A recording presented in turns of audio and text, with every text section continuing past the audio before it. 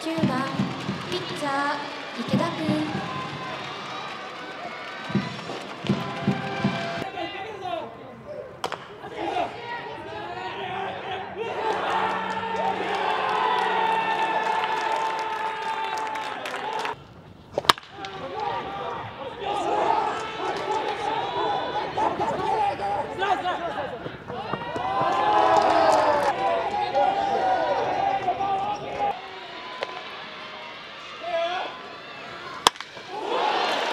センターオーバー。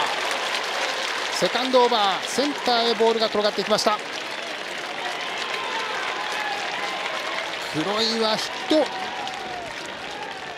ト。立教は4本目です。先頭が出ました。ノーアウトランナー一塁。二遊間を抜けます。さあ立教大学先頭出塁はこの試合3度目。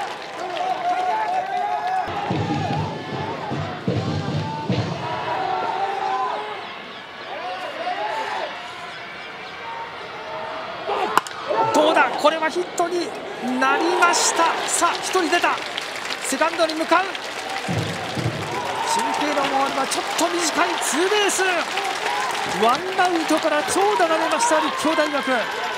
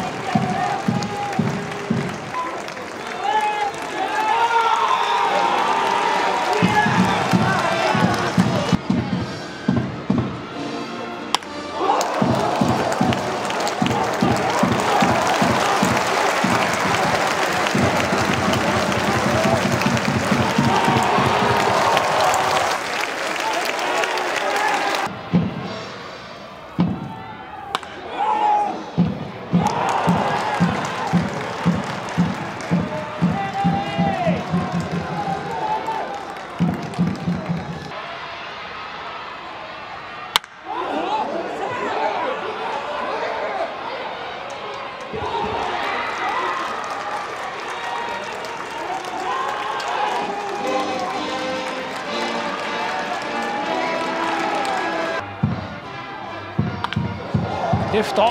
ちょっと前目だったレフト越えていくか。あと少しという当たりでした。1人帰ってくる。一塁ランナーもくるくる回って三塁から今ホームへ帰ってきました。黒岩の2点タイムリーツーベース。立教大学初回3点を積み上げています。一塁三塁からの黒岩のバッティング。レフトの西山はここのツーベースヒット。もう1回見ましょう。